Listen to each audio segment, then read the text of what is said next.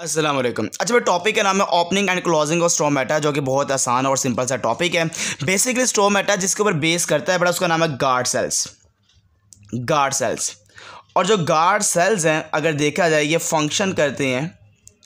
इनका वर्क देखा जाए एज मल्टी सेंसरी इसके तौर पे काम करता है ये मल्टी सेंसरी हाइड्रोलिक वॉल्व की तरह।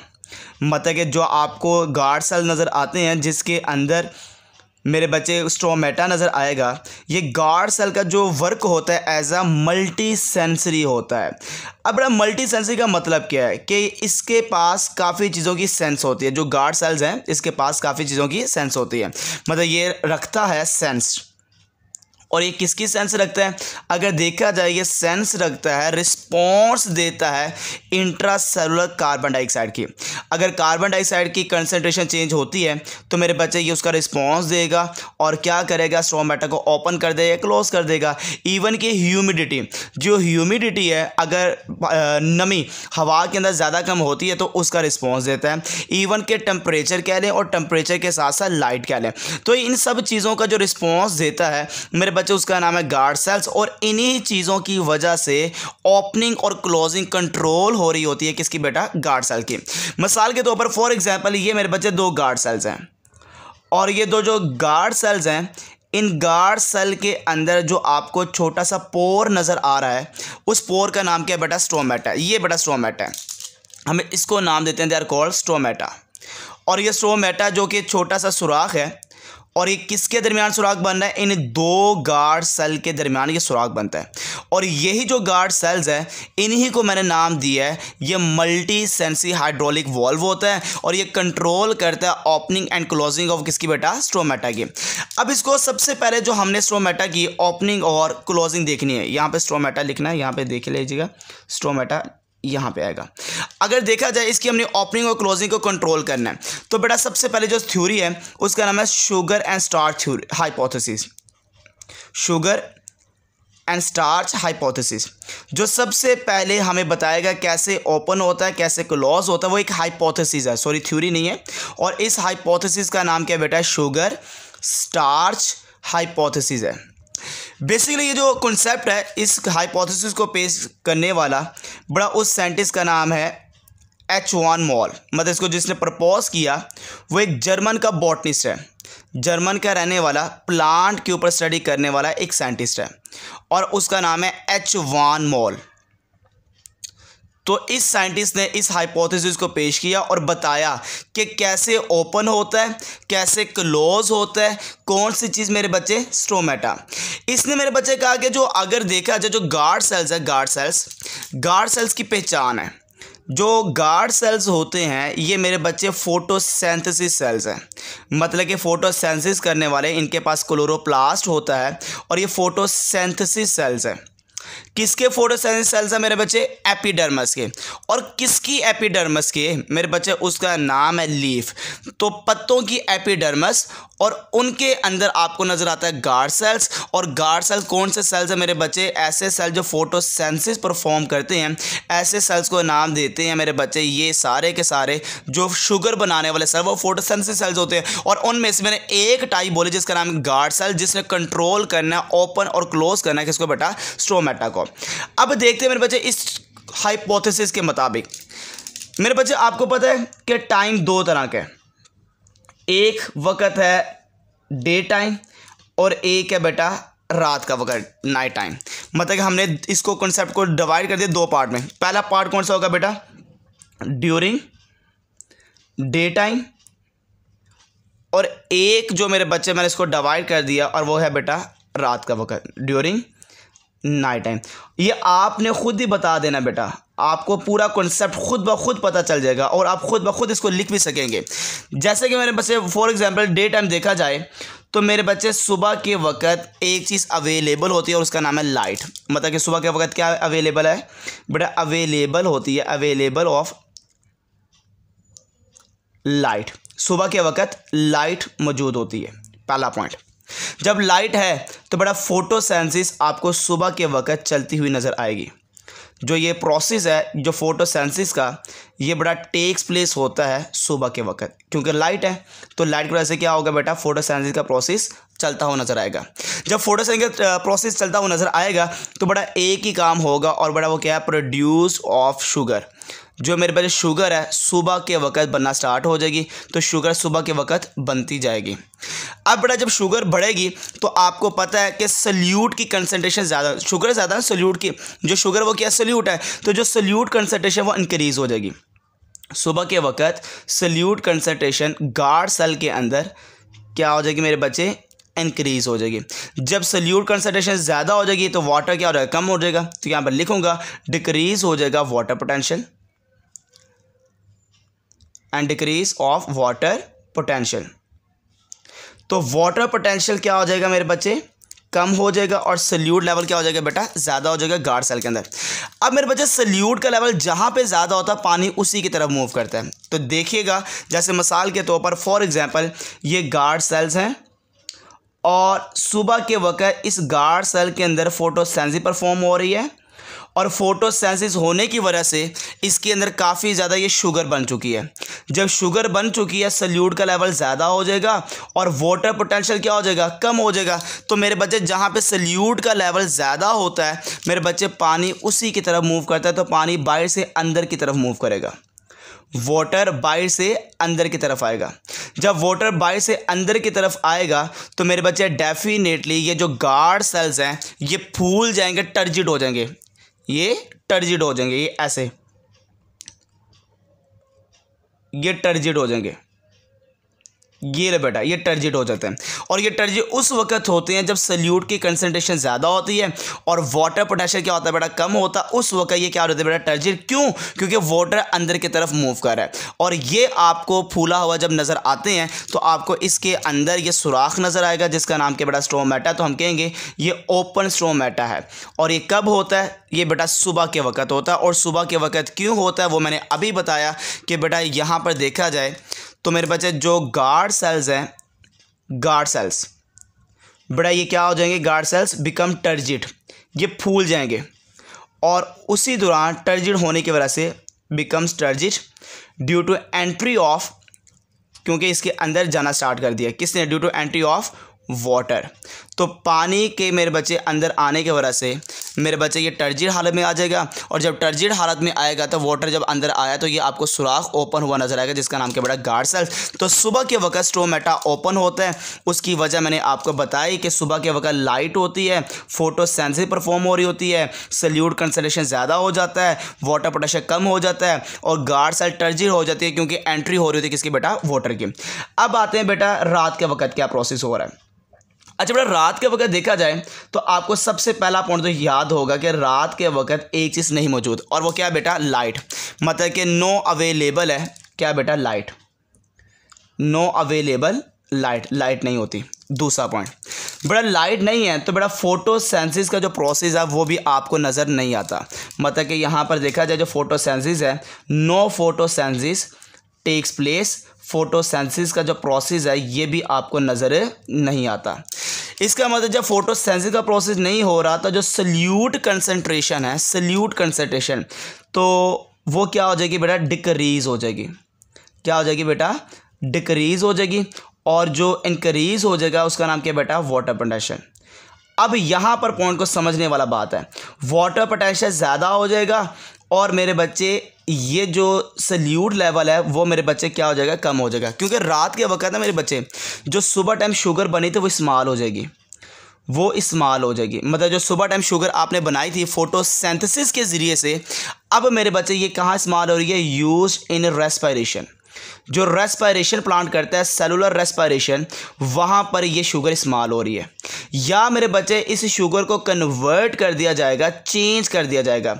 कन्वर्ट इनटू इंसोलेबल इंसोलेबल किसके अंदर बेटा? स्टार्च के अंदर।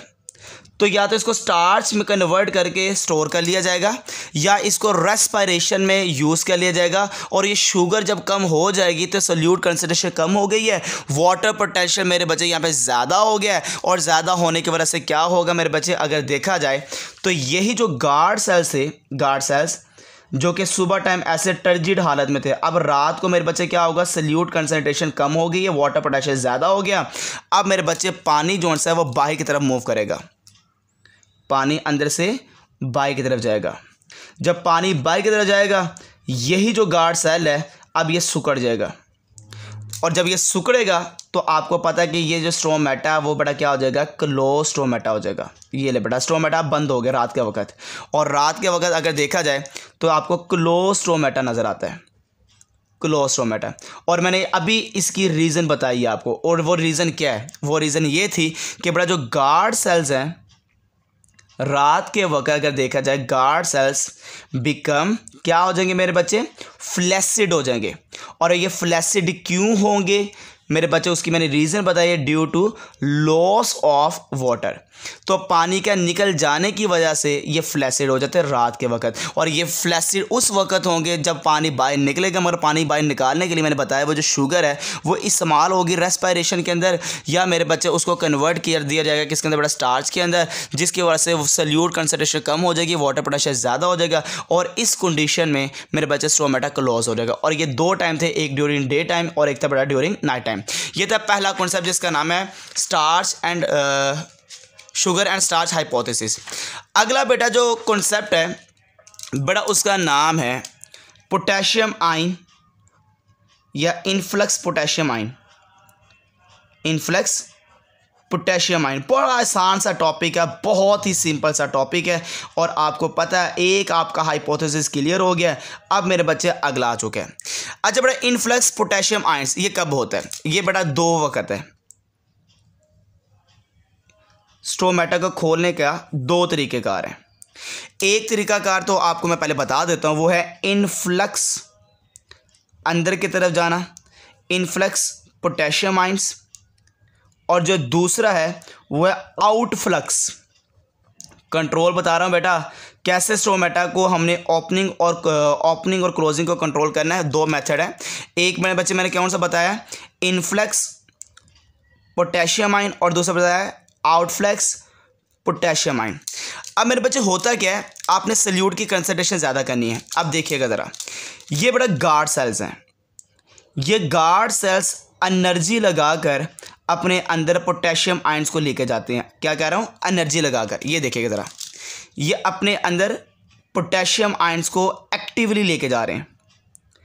एक्टिवली पोटेशियम आइंस को लेके जा रहे हैं। और मैं फिर बता रहा हूँ, ये कैसे लेके जा रहे हैं, किसको यूज़ करके एनर्जी को। मतलब कि ये एटीपी को इस्तेमाल करके अपने अंदर पोटेशियम आइंस को लेके जा रहे हैं। जैसे पोटेशियम आइंस ज़्यादा होगा सल्यूट की कंसनट्रेशन ज़्यादा हो जाएगी वाटर पोटेशियम कम हो जाएगा बेटा आपको पता पानी अंदर आना शुरू हो जाएगा। और जब पानी अंदर आना शुरू हो जाएगा सल्यूट की कंसनट्रेशन ज़्यादा होने की वजह से सल्यूट मैं किसको कह रहा हूँ पोटेशियम आइन को। पोटेशियम आइन के ज़्यादा होने की वजह से सल्यूट कंसनट्रेशन ज़्यादा होगी, और ज़्यादा होने की वजह से मेरे बच्चे क्या होगा वाटर अंदर की तरफ़ आएगा और जैसे वाटर अंदर की तरफ़ आएगा गार्ड सेल क्या हो जाएँगे बेटा? टर्जिड हो जाएगा। क्या हो जाएगा बेटा? टर्जिड हो जाएगा। ये ले बेटा, ये मैंने वाटर लिख दिया। अंदर क्या मूव करे बेटा? वाटर करे। और फिर क्या होगा? बेटा स्टोमेटा ओपन हो जाएगा। ओपन स्टोमेटा हो जाएगा। ठीक हो गया बेटा? तो मेरे बच्चे, मैंने यहाँ पे क्या किया? मैंने यहाँ पे एक ही काम किया है। यहाँ बेटा एक्टिवली ट्रांसपोर्ट होता है एनर्जी लगा के। एक्टिवली ट्रांसपोर्ट होता है। कौन सी चीज़ मेरे बच्चे? पोटेशियम आइंस किसके अंदर मेरे बच्चे? इनटू गार्ड सेल्स किसके अंदर मैंने ट्रांसपोर्ट किया बेटा इसको? गार्ड सेल्स के अंदर एक्टिवली एनर्जी लगा के ट्रांसपोर्ट कर दिया। ठीक हो गया? जब बेटा अंदर ट्रांसपोर्ट कर दिया तो आपको पता है एक चीज़ ज़्यादा हो चुकी है, पोटेशियम आइन और मैं क्या लिखूँगा? सल्यूट कंसेंट्रेशन यहाँ पर गार्ड सेल के अंदर, वो मेरे बच्चे क्या हो चुका है? इंक्रीज हो चुका है, बढ़ चुका है। और ये बढ़ गया और साथ ही साथ यहाँ पे वाटर पोटेंशियल जोन सा है। वाटर पोटेंशियल मेरे बच्चे अगर देखा जाए, वो बड़ा क्या हो चुका है? यहाँ पर डिक्रीज हो चुका है। और आपको पता है, जैसे ही जहाँ पर सल्यूट कंसनट्रेशन ज़्यादा होती है, पानी उसकी तरफ़ मूव करना शुरू कर देता है। मतलब कि सल्यूट का मतलब नम नमकी आप कह सकते हैं कि सल्यूट मतलब सोल्ट्स वगैरह कह लें या कोई भी चीज़ कह लें सल्यूट जैसे शुगर कह लें सोल्ट्स कह लें आइंस कह लें। आप समुंदर का पानी पिए तो आपको ज़्यादा प्यास लगती है, क्योंकि वहाँ पर सल्यूट की कंसनट्रेशन ज़्यादा है। तो जहाँ पर सल्यूट की कंसनट्रेशन ज़्यादा होती है, पानी उसी की तरह मूव करता है। तो मेरे बच्चे क्या होगा होगा, जब पानी अंदर की तरफ़ मूव करेगा तो डेफिनेटली जो गार्ड सेल्स हैं गार्ड सेल्स मेरे बच्चे ये क्या हो जाएँगे? बिकम टर्जिट्स ये टर्जिट हो जाएँगे। और टर्जिट होने की रीज़न है। और वो रीज़न क्या है? Due to entry of water तो पानी अंदर की तरफ़ आना शुरू करेगा सल्यूट की कंसनट्रेशन ज़्यादा होने की वजह से तो मेरे बच्चे वो क्या हो जाएगा? टर्जिट हो जाएगा। अब दूसरी तरफ़ आउटफ्लक्स क्या है? जैसे कि आपको पता है, ये गार्ड्स है, इस वक्त टर्जिड हालत में फूला हुआ क्योंकि इसके अंदर पोटेशियम आयन काफ़ी ज़्यादा मौजूद है। वही पोटेशियम आयन बाहर की तरफ़ मूव करेंगे, और आपको पता है, बाहर पोटेशियम आयन तो काफ़ी ज़्यादा होगा तो मेरे बच्चे, यहाँ पे एनर्जी लगाने की कोई ज़रूरत नहीं पड़ेगी। ये क्या करेगा बेटा? डिफ्यूज़ होगा। डिफ्यूजन के ज़रिए से बाहर मूव कर जाएगा। जब डिफ्यूजन के ज़रिए बाहर मूव करेगा तो आपको डेफिनेटली पता है गार्ड सेल के अंदर सल्यूट का लेवल कम हो जाएगा। जब सल्यूट का लेवल कम हो जाएगा तो ये मेरे बच्चे दोबारा अंदर से पानी बाहर जाएगा और ये फ्लैसिड हो जाएगा। ये फ्लैसिड हो जाएगा। ये पानी क्या हद करेगा मेरे बच्चे? अंदर से बाहर की तरफ़। क्योंकि अंदर क्या हो जाएगा? सल्यूट की कंसनट्रेशन कम हो जाएगी और वाटर की कंसनट्रेशन ज़्यादा हो जाएगी।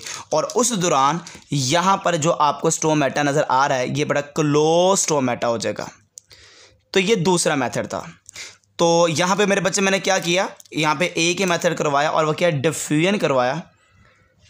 डिफ्यूजन ऑफ़ किसको मेरे बच्चे? पोटेशियम आइंस को। और कहाँ पर? आउटसाइड किससे करवाया? आउटसाइड बड़ा आपको पता है गार्ड सेल से करवाया है। तो गार्ड सेल से मैंने पोटेशियम आयंस को बाहर की तरफ़ रिमूव करवा दिया। जब ये बाहर की तरफ़ चला गया तो आपको डेफिनेटली पता है कि जो हम पेरेंट्स अब सल्यूट कंसनट्रेशन यहाँ पर अब क्या हो चुका है बेटा? डिक्रीज़ हो चुका है। जब ये डिक्रीज़ हो जाएगा तो मेरे बच्चे, यहाँ पर जो वाटर पोटेंशियल है, वो मेरे बच्चे क्या हो जाएगा? पानी की कंसनट्रेशन ज़्यादा हो जाएगी। इनक्रीज़ हो चुका है। अब बेटा यहाँ पे इंक्रीज़ हो गया। तो बेटा यहाँ पे जो गार्ड सेल्स हैं, वो मेरे बच्चे क्या हो चुके हैं? गार्ड सेल्स यहाँ पर फ्लैसिड हो जाएँगे सुकड़ जाएँगे। और ये फ्लैसिड इस वजह से होते हैं क्योंकि इसके अंदर से पानी बाई की तरफ़ मूव कर रहा है due to loss of water तो ये मेरे बच्चे हमारे पास दूसरा मेथड था, जिसका नाम था influx potassium ions outflux, potassium ions जो कि अगला हमारे पास कॉन्सेप्ट था, कैसे ओपनिंग और क्लोजिंग इसकी कंट्रोल होती है। और हाँ आपको बताता चलो, यहाँ पे जो सबसे बड़ा रोल होता है ना, वो है बेटा कंट्रोल ऑफ़ पोटेशियम आइन ये आपने ज़रा सा सुन लेना है, और ये इंपॉर्टेंट पॉइंट है control of potassium ions movement तो पोटेशियम आयंस की जो मूवमेंट है वो कंट्रोल कैसे होती है, ये मैंने आपको बताना है और ये बड़ा इंपॉर्टेंट पॉइंट है कि पोटेशियम आयंस को कौन कंट्रोल करता है। इसको जो कंट्रोल करने वाली चीज़ है, वो दो हैं। इसको जो कंट्रोल करने वाली चीज़ है पोटेशियम आयंस को, वो दो हैं। एक मेरे बच्चे होता है, जिसका नाम है कार्बन डाइऑक्साइड और एक का नाम है ब्लू लाइट एक का नाम क्या है बेटा? ब्लू लाइट और ए का नाम क्या होता है बेटा? कार्बन डाइऑक्साइड जैसे फॉर एग्जांपल मैं कार्बन डाइऑक्साइड के बारे में पहले बताऊँ कि कैसे कंट्रोल करता है पोटेशियम आयंस की मूवमेंट को। आपको पता है बेटा, जो low level of carbon dioxide अगर प्लांट में है low level of carbon dioxide ये मेरे बच्चे फेवर देती है कि ओपन हो जाए बेटा। ओपन हो जाए प्लांट में बड़ी कमी है। ओपन हो जाए तेरे ज़रिए से मैंने अंदर आना है। Favours to opening of favours to open of stomata तो स्ट्रोमेटा की ओपनिंग को जो मेरे बच्चे फेवर करता है, वो मेरे बच्चे कौन करता है बेटा? स्ट्रोमेटा की ओपनिंग को कार्बन डाइऑक्साइड का लो लेवल है। क्यों? वजह क्या है? ताकि मेरे बच्चे, आपको पता है, प्लांट के अंदर इंक्रीज हो सके क्या चीज़ कार्बन डाइऑक्साइड? और ज़्यादा से ज़्यादा फोटोसेंसिस हो सके। मतलब increase level of carbon dioxide ये फेवर्स करती है। Favours to more photosynthesis. तो ज़्यादा फोटोसेंसिस के लिए कार्बन डाइऑक्साइड ज़्यादा चाहिए और कार्बन डाइऑक्साइड ज़्यादा उस वक्त होगी जब स्टोमेटा ओपन होगा। तो इसी वजह से जितनी कार्बन डाइऑक्साइड कम होगी, उतना ही ज़्यादा पोटेशियम आइंस की जो मूवमेंट है, वो मेरे बच्चे अंदर की तरफ़ होगी ताकि स्टोमेटा ओपन हो सके। अब आ जाता है ब्लू लाइट। बेटा, जो ब्लू लाइट है, इसका भी इनडायरेक्ट जो रिलेशन है, बेटा, वो किसके साथ है? फोटोसेंसिस के साथ। मतलब ये भी इफ़ेक्टिव है इफ़ेक्टिव फॉर फोटोसेंसिस और ब्लू लाइट का सबसे बड़ा काम जो सा होता है गार्ड सेल्स के अंदर, ये बड़ा एसिडिफाई कर देता है। एसिडिफाई कर देता है। मतलब कि एसिडिटी करता है। Acidify the environment of guard cell जो इन्वायरमेंट है ना गार्ड सेल का मेरे बच्चे, वो गार्ड सेल का इन्वायरमेंट एसिडिटी ज़्यादा हो जाती है। अगर ज़्यादा ब्लू लाइट को वो अब्जॉर्ब करता है, ताकि वो ज़्यादा से ज़्यादा फोटोसेंस कर सके।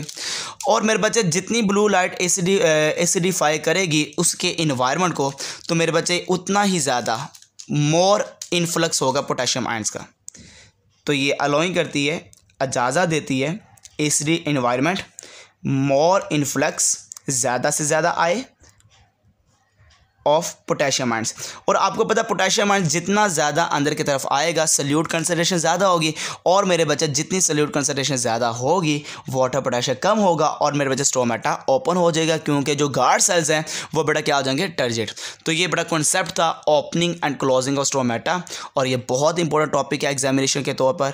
और हाँ इसके अंदर एज इट इज़ ही आपने पेपर में लिखना होता है, जैसे मैं पहले बताता रहता हूँ और आपके नंबर इनशाला नहीं कटेंगे. ओके बेटा